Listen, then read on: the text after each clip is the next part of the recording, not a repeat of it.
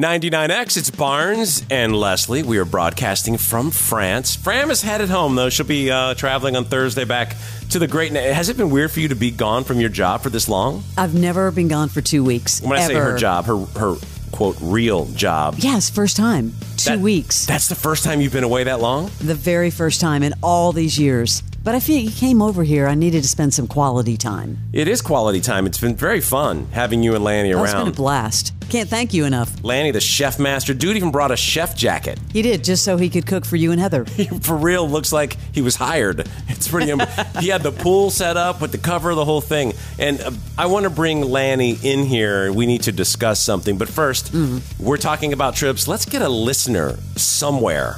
Oh, you're going to love this. The Morning X want to send you to St. Augustine. You can register for your chance to win a trip to St. Johns County, St. Augustine, a three day, two night stay in Vilano Beach, dining certificates. How about the Raintree Restaurant, Columbia Restaurant? All sorts of very cool attractions as well.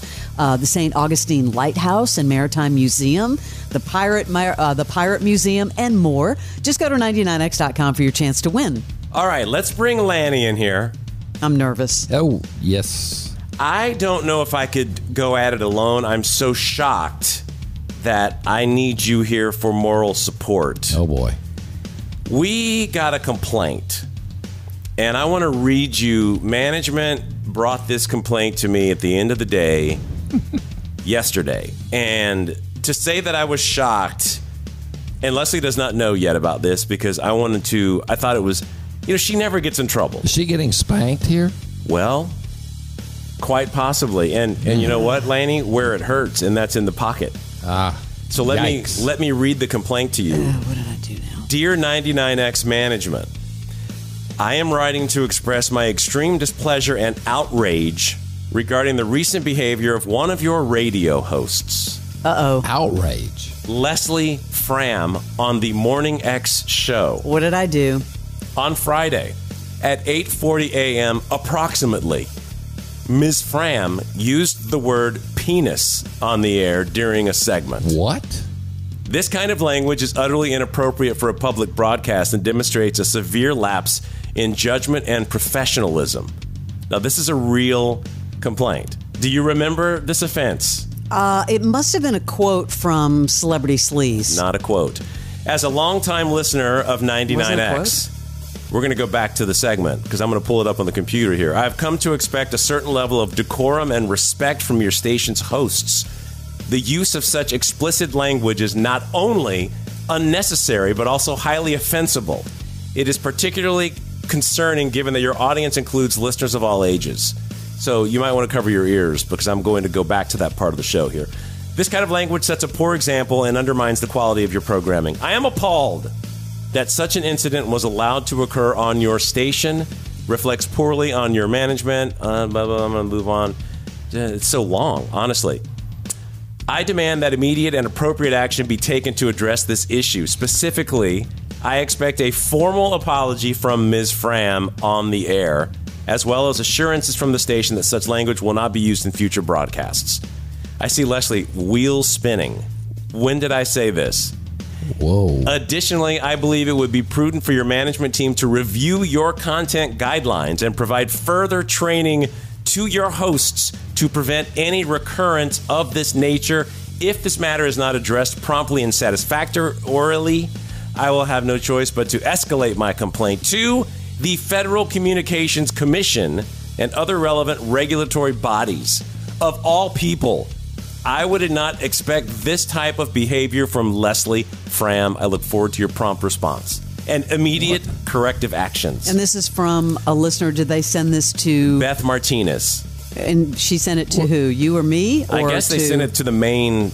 no, Oh, it okay. went to the top Was she management. like 70 years old or I, I don't know, but I pulled up the clip. When when did I say that? I'm going to play it for you. okay. So I pulled it up, and because you're such a good student, I was trying to think, okay, well maybe, maybe this is Freud slipping in because I didn't catch it during the show, and this was during the Giuliani segment. We played a clip of Giuliani uh-huh. peeing during his arraignment, mm-hmm. We did. and that was a Zoom call that was recorded. So let's go back to the audio. I did not hear it in real time. Well, the only thing I remember saying is that he was peeing live on Zoom. So if we're going to go Freud, let's listen. Okay, Let, us okay. go back to Friday around 8:40. Okay. He was pretty respected back when he was the um, mayor of New York. Oh, absolutely loved. Did you live there when he was the mayor? Yes, And pe- cleanest, the cleanest time Yeah. in New York ever, and the safest. What has Okay. happened to that dude? There it is right there. I said cleanest. No, you said penis. Listen. on. Listen, I'm I'm going to isolate it down to that. All right, And pe- cleanest, the cleanest time Yeah. in New York. I mean, I uh, didn't uh, catch uh, it. Listen, And pe- Cleanest, the cleanest time Yeah. in New York. I heard myself trying to say cleanest. how do you get penis I from don't cleanest? know. I have no idea. Wow. That was I'm shocked. okay. So, so I guess I don't remember saying that, but I said it. So what am I supposed to do? Now, why Okay, would someone I- write a five paragraph complaint when it was obvi- obviously an accident? But Freud, possibly, you're, I- where it was Giuliani so, um, peeing, and you're thinking in your head, Is her name Beth? penis. Is Uh, it Beth? Beth Martinez. Beth, I apologize. I don't remember saying that. That was a mistake. Don't rob the apology by saying, but I don't remember. You have to just be authentic, Leslie. What if your upper I don't- management skills taught you? I do not remember saying it. And pe- cleanest, the cleanest time in New Do you remember? Thanks. So you're just going to play it over and over and over again. You know, well, this will I be the. apologize, Beth. This, uh, this isn't just an average listener, by the way. Oh, all. here comes Lanny. No. Here Uh-uh. comes Lanny. This is this is somebody that no. What should we do to her, Leslie? I mean, No, I Lanny. just What, Said I- what listener says I'm going to contact the FCC? Oh, um, come on, give me a break. the one who heard. Cleanest, Yeah, right. The cleanest time Yeah. in New York. So let the record show that for once, it's Leslie Fram oh. getting in trouble on this program.